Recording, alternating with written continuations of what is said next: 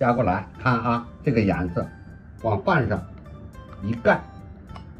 朋友们，大家好，今天做的是酱油蒸鸡蛋，来，用心做好菜，吃出健康来。把这个小葱或者大葱白切成葱花，我这个呢是切成一公分长的小碎丁。香菜放点香菜，没有香菜放点芹菜。哎，没有芹菜的，你家冰箱有啥？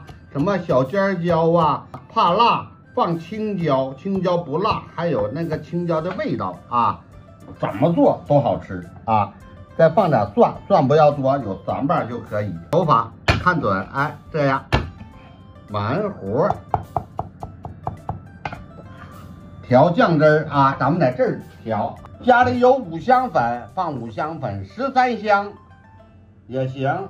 花椒面放上也可以，油加上二十克，零添加黄豆油，这是一两啊，满满两勺一两，再来一勺生抽提鲜啊，然后可以少放点味精啊或者鸡精啊都行，这个就不用放盐了。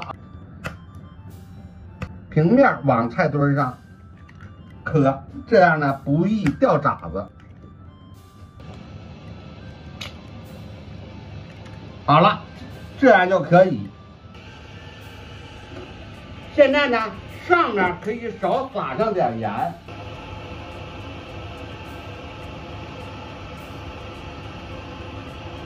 还是用手这么撒，能撒的均。好了。蒸上多长时间？上元气儿，十五分钟就好了。现在蒸好了，看一下，看看，我把这个啊夹夹过来，看啊，这个颜色，哎，这是个标准，看一下，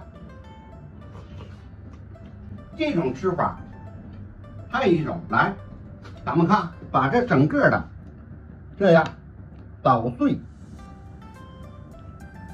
啊，捣碎，然后拌，拌完以后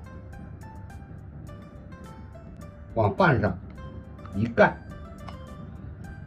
然后你再看这样吃能怎么样啊？味儿啊，相当棒了。今天的酱油蒸鸡蛋我们就分享到这里，有什么需要的话呢，在我。最新视频下方留言，谢谢诸位观看。